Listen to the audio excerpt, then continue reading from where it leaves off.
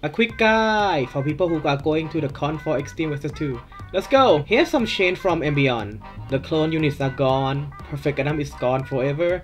Some of them are back but require an online service and account, but the service for Extreme vs 2 has ended, so you guys can use them anyway. Most of the Beyond top tier picks are kinda bad now, so better check the tier list again if you want to try hard. You can change the burst before the fight during the loading screen. You can see your partner burst during the fight. There are two new bursts. Mobility Burst is a gotta go fast burst. It also buffs a bit of damage and red lock. It is almost impossible for the enemy to catch you when you use this to run away. And it's quite amazing burst to use offensively too. Pretty much your new default burst for a front MS. Link Gauge Burst instantly give your partner 15% burst gauge.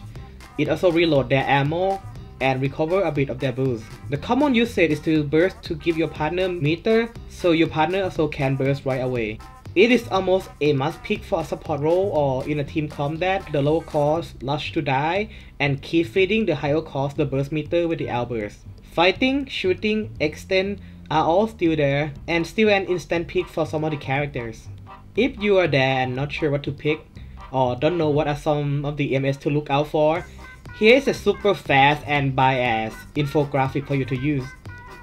You can also check out the official website for the full roster.